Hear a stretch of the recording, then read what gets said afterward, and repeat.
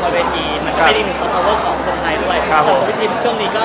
ออกอะไรที่เกี่ยวกับประเทศไทยเหมือนอ๋อน่าจะเยอะนะครับ เป็นยังไงบ้างครับครับก็ต้องขอขอบคุณคุณบอยถกลเกียรติแล้วก็ Scenario ที่เชิญผมมาร่วมงานนะครับเป็น Broadway ที่ชื่อว่า Waterfall นะครับก็น่าจะเป็นความภาคภูมิใจของคนไทย ที่มีเรื่องราวแบบไทยๆ แต่มี production แบบต่างชาตินะครับก็ผู้ร่วมก็จะเป็นคนที่ได้รางวัล Tony Award ได้ออสการ์ เพียงแต่ว่าเรื่องที่เป็นเรื่องของคนไทยที่อาจจะมีความคล้ายคลึงกับเรื่องข้างหลังภาพนะครับแล้วก็มีโอกาสได้ไปฉายที่อเมริกาหลายครั้งที่ซีแอตเทิลมีนะครับที่บาร์เซโลนาก็มีก็เป็นเรื่องที่น่าได้รับการสนับสนุนนะครับจากคนไทยด้วยกัน แล้วก็ได้รับการสนับสนุนจากกระทรวงวัฒนธรรม ได้รับการสนับสนุนจากรัฐบาลไทยด้วย ตัวผมตอนนี้ก็ถูกพักปฏิบัติหน้าที่อยู่ยังเข้าสภาไม่ได้แต่ก็จะพยายาม ทำตามความสามารถถึงแม้ว่าจะไม่มีตำแหน่งในการที่จะผลักดันความคิดสร้างสรรค์ของคนไทย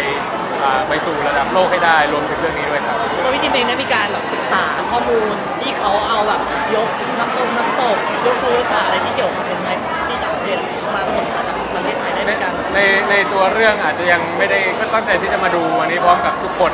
แต่ว่าในในภาพกว้างเนี่ยไม่ว่าจะเป็นเรื่อง Miss Saigon นะก็เป็นเรื่องหนึ่งของ เวียดนามที่ไปอยู่ที่นิวยอร์กมา1979อะก็คือหนึ่งปีก่อนผมเกิด ถ้าเกิดเรื่องของชาวเวียดนามที่ไม่ได้เป็น story ของคนเวียดนามไปอยู่ที่นิวยอร์กได้ ผมก็คิดว่าเรื่องราวของคนไทยที่มี production เนี่ยก็ถึงเวลาที่จะไปสู่นิวยอร์กได้แล้ว แล้วถ้าจะไปได้ก็คงจะเป็นฝีมือของคุณบอยถกลเกียรติไม่ใช่คนอื่นได้เห็นความอลังในฉากในเรื่องเป็นพิเศษไหมครับ ก็เห็นใน trailer ในในตาม โซเชียลมีเดียเหมือนกับคนอื่น แต่ว่ายังไม่มีโอกาสได้ได้เห็นเต็มๆ ซึ่งก็พยายามจะอดใจอยู่ ไม่อยากจะ spoil ตัวเองก็เดี๋ยวรอเวลาถ้ามีโอกาสได้ดูทั้งหมดก็จะเอาน้องพี่บิ๊กมาดูด้วยก็น่าจะน่าจะชอบเพราะเห็นว่ามันมีฉากสวยๆที่เป็นอ่ามีน้ำน้ำตตกกใช่ไหมเนี่ยมีน้ำตกมาอยู่ในละครเวทีซึ่งเป็นครั้งแรกของประเทศครับครับก็เคยเคยดูข้างหลังภาพแต่เมื่อกี้ได้รับคำยืนยันจากคุณบอยแล้วว่าก็ base มา แต่ก็ไม่ใช่เหมือนสักขนาดนั้นก็ต้องลองติดตามดูด้วยกันที่ มองอุตสาหกรรมประเทศบ้านเราเป็นยังไงบ้างเติบโตในในเติร์นได้ก็เป็นเป็นที่ต้องการสำหรับนานาชาติเยอะพอสมควรนะครับ อย่างเช่นไทยป๊อปเนี่ยผมก็ได้ยินจากสถานทูตไม่ว่าจะเป็นสถานทูตเม็กซิโก สถานทูตเปรูสถานทูตอาร์เจนตินาให้เอาวงไทยไปแสดงนะครับเรื่องเกี่ยวกับหนังสือก็ได้ข่าวว่าพอไปที่เยอรมันก็มีผลอยากจะเอาเรื่องราวของนักเขียนไทยไปแปลด้วยเช่นเดียวกัน มีทุกอย่างยกเว้นการสนับสนุนจากทางรัฐบาล เพราะฉะนั้นเรื่อง สวัสดิการนักข่าว สวัสดิการนักเขียน สวัสดิการนักแสดงนะครับสวัสดิการคนที่อยู่ในกองถ่ายเนี่ยมันก็ต้องได้รับการคุ้มครองอีกอันหนึงก็คงจะเป็นเรื่องเกี่ยวกับเสรีภาพในการแสดงออกถ้ามีรัฐบาลมาคอยเซ็นเซอร์ตลอดเวลาเนี่ยหนังดีๆ อย่างพาราไซของเกาหลีใต้ก็คงจะไม่เกิด เพราะฉะนั้นความคิดสร้างสรรค์มีแล้วขาดสวัสดิการขาดการสนับสนุน แล้วก็ขาดเสรีภาพในการแสดงออก เพราะฉะนั้นอันนี้ก็น่าจะเป็นเรื่องที่ทำให้ประเทศไทยไปได้ไกลกว่านี้เยอะมากครับก็คือเรายืนยันว่าเราก็คือช่วยกันอุตสาหกรรมของเราไปแล้วเนาะเราเป็นเป็นภารกิจต้นๆเลยครับที่เราทำเอายกตัวอย่าง